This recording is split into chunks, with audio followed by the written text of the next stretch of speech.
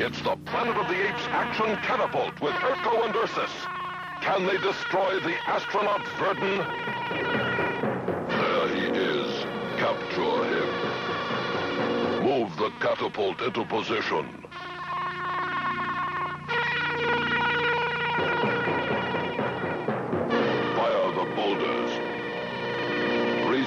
The catapult. Keep firing. We got him. He's surrendering. Put Virdon into the wagon.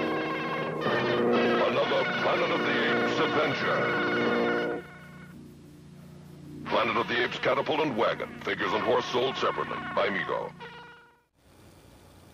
right, it's Tim from Toy Tinker Tim, and this episode we have a Mego Planet of the Apes action stallion here, and uh, he has lost his get up and go.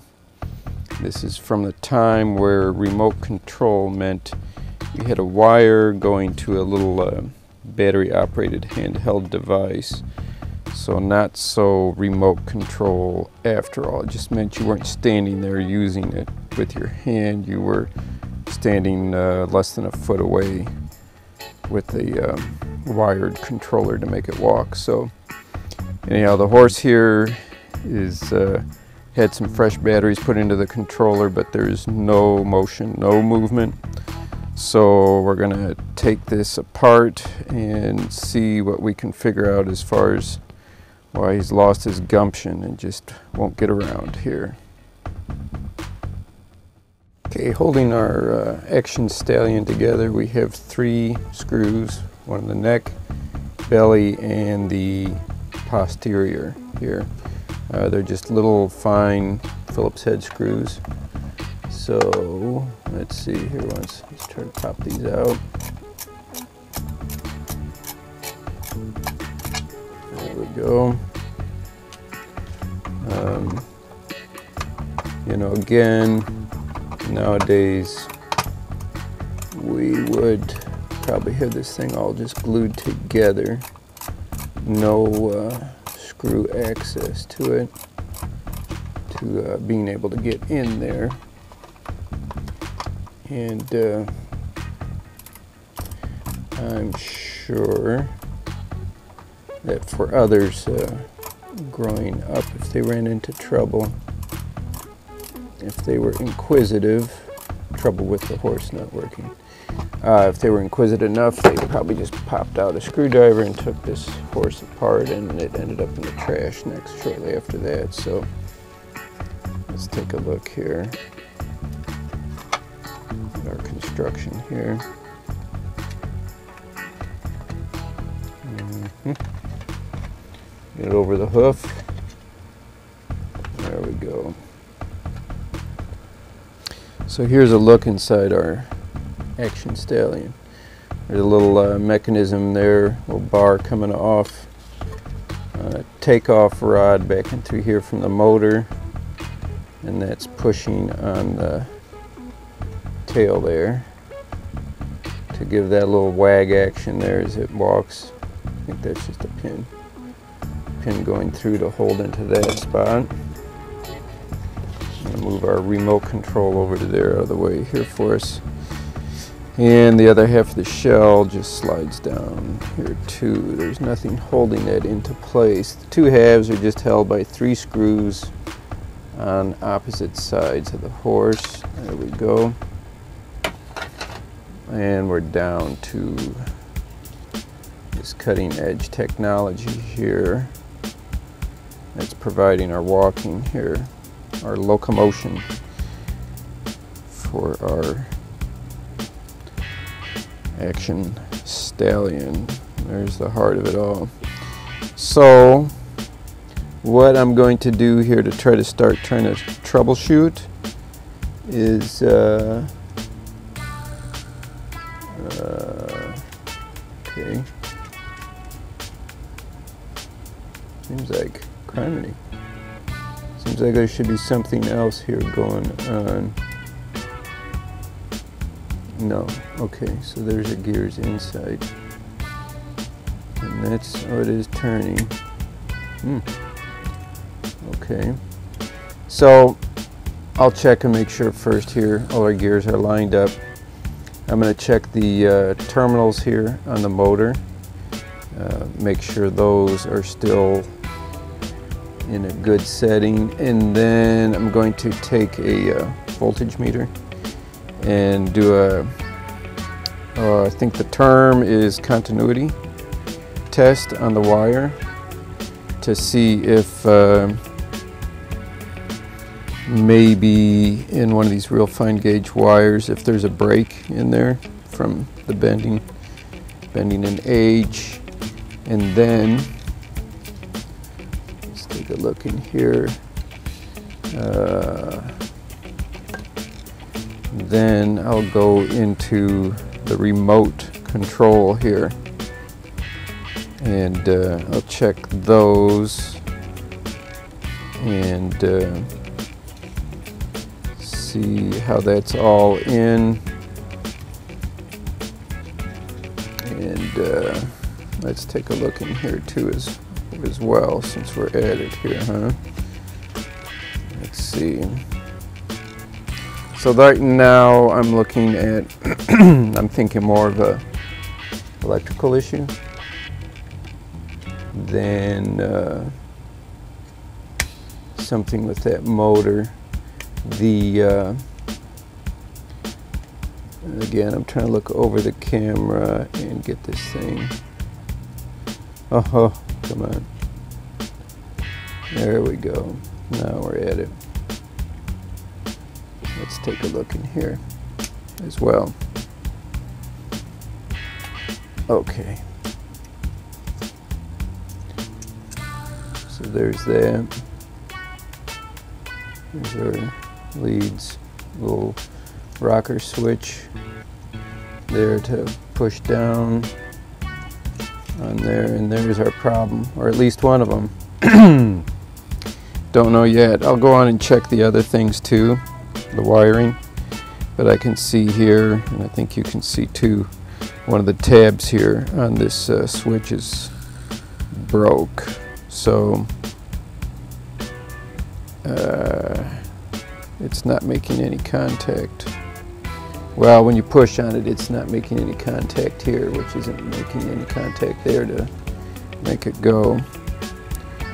I'm gonna guess that's a good 90 to 95 percent of the problem right there but gonna check through everything else and looks like I'm going to have to I would say fabricate a new uh, switch here for the remote because uh, I only see that breaking again if that were just tried to uh, repair.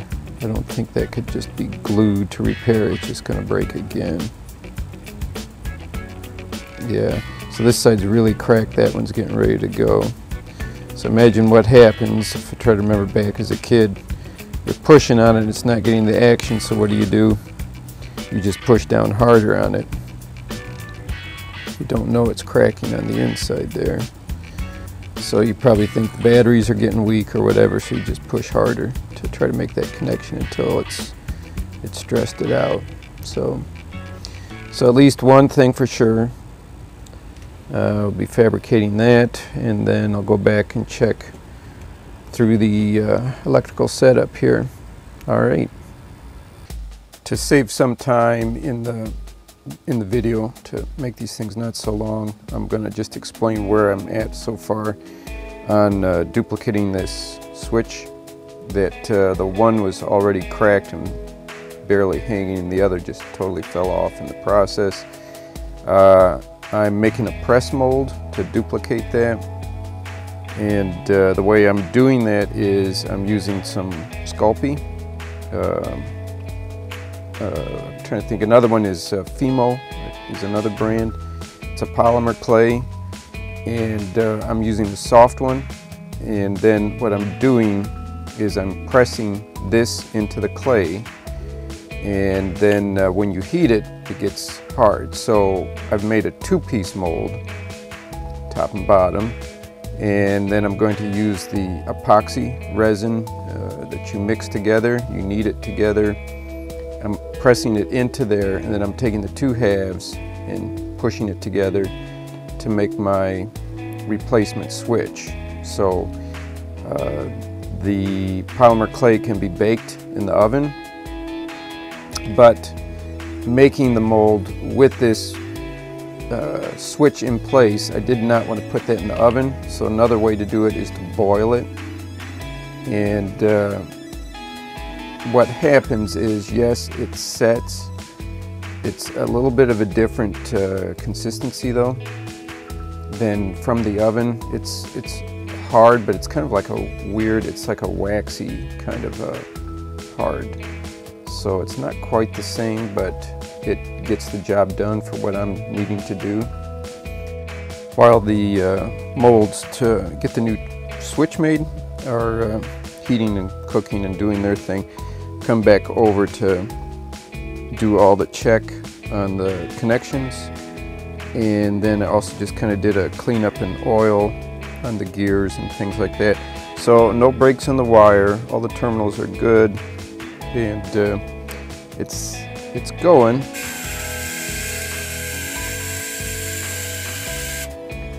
And uh, yeah, we have forward and reverse here.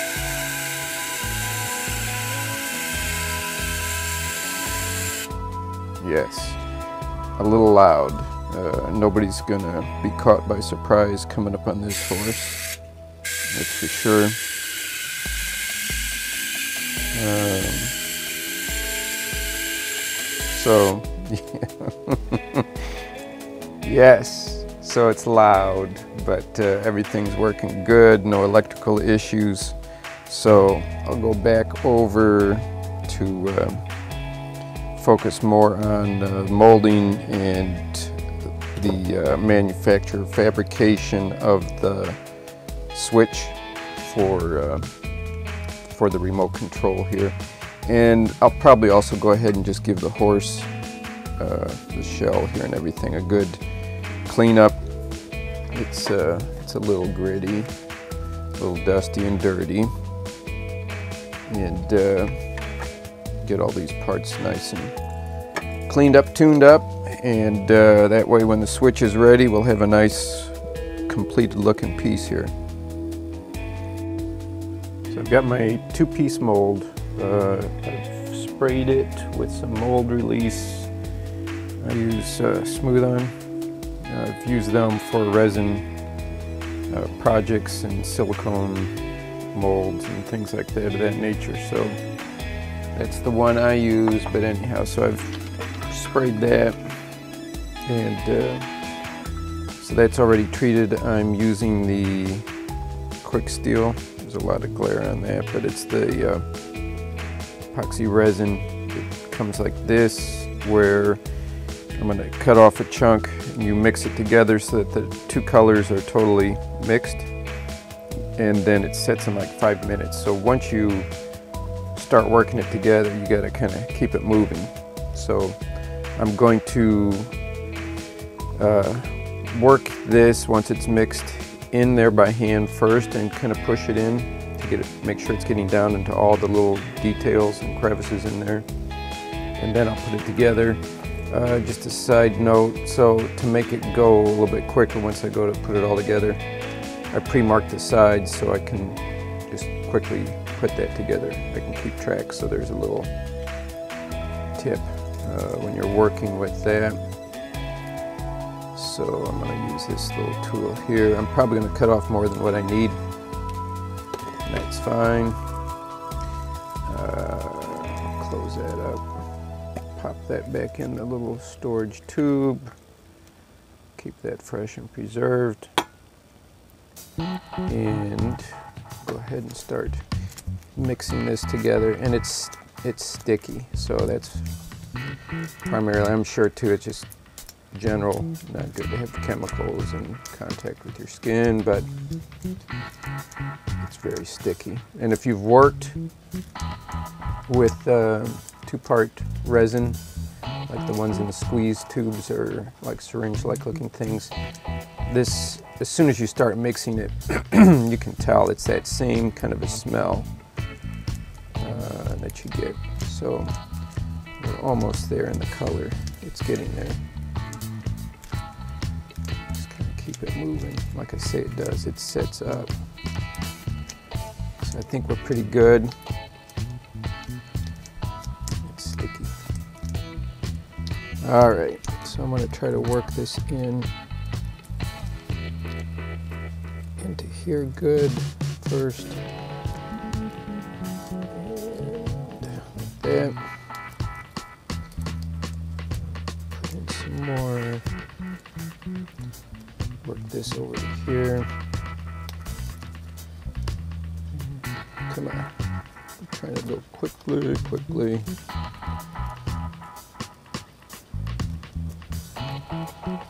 Place that into there. And uh, for the most part, we're pretty good on the other half. You know, I'm gonna fit some into that little thing there. I think we're good.